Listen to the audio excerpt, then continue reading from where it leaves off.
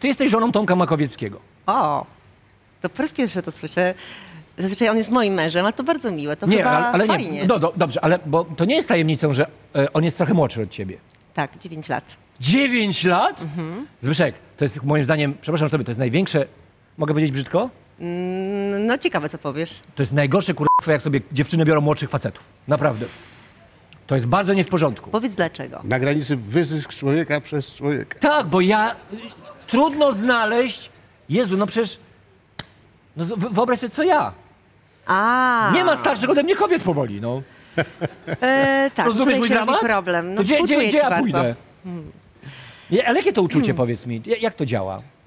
Słuchaj, e, po pierwsze, nad tym się nikt nie zastanawia, nie zastanawia Naprawdę? kiedy, kiedy, wiesz, pojawia się ten impuls i to coś. Aha. Te pytania przychodzą później. Ale mówisz do niego gówniarzu, dzieciaku.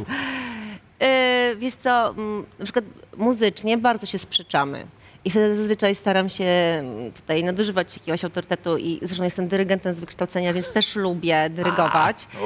E, ale no cóż, no mm, ja jestem trochę niedojrzała. Aha. On jest, tak jak pamiętasz, taki zamyślony i właśnie wydaje mi się nad wyraz e, dojrzały, więc spotykamy się gdzieś po środku. No tak, bo Tomek jest taki trochę nieobecny, prawda? No właśnie.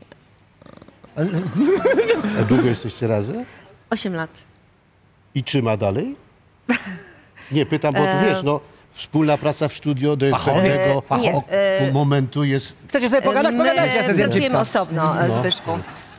Znaczy, Pracujemy osobno, nagrywamy osobno, gdyż e, każdy z nas jest tak silną indywidualnością, że prawdopodobnie gdybyśmy nagrywali razem, to Mhm. na końcu byłoby pytanie, czyja jest ta płyta, a każdy z nas bardzo chce zrobić swoją płytę, więc na razie nie jesteśmy gotowi, przynajmniej tak mi się Tu wydaje. jest nas- prowadzący, Zbyszek jest gościem. E, Tak, że trzeba te kompetencje jasno ustalić, granice i tak dalej. Okej. Natomiast czy, czy trzyma? To jest ciężka praca każdego praca. dnia i to, to nie, ja, ja, my nigdy nie, e, nie mówię, że my jesteśmy super cukierkowym, wiesz, znaczy ona wiąże do idealnym. pewnego stopnia, ale też może... My na przykład z Renatą spięcie, jesteśmy, my jesteśmy z Renatą bardzo Aha. poważnym związkiem, w ogóle się nie uśmiechamy.